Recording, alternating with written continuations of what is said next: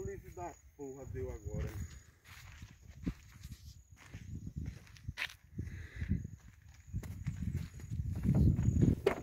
Já fecha essa vara, já tava bebendo. E ele deixou. Aí, pessoal.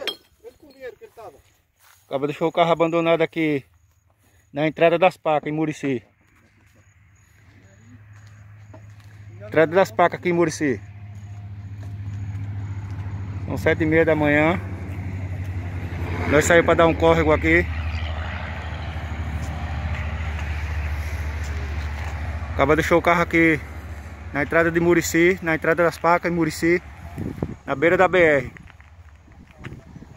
abandonado aqui com a chave da ignição.